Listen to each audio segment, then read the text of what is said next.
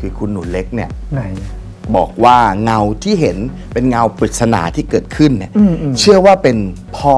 ผู้ล่วงลับไปแล้วครับนี่นั่นเองนะฮะก็แฟนๆขนลุกตามๆกันครับ หลังจากคุณหนูเล็กเนี่ยเผยภาพถ่ายติดเงาปริศนาลง IG ส่วนตัว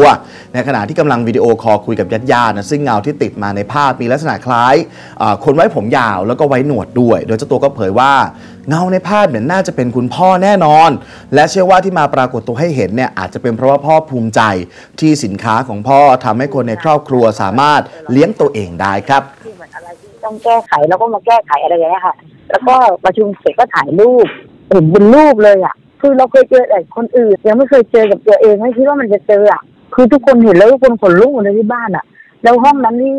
ที่ห้องนั้นก็คือห้องที่พ่อเสียห้องนั้นอะขนลุกมากถ่ายเสร็จถึงจะเห็น ในส่วนตัวพี่หนูเล็กอะคิดว่ายังไงคะทำไมคุณพ่อถึงแบบว่ามาให้เราเห็นอะไรอย่างเงี้ยค่ะก็อาจจะดีใจนะ แล้วก็อาจจะภูมิใจมากๆ เพราะว่า คือก็ไม่มีใครคิดว่าหนูเล็กจะ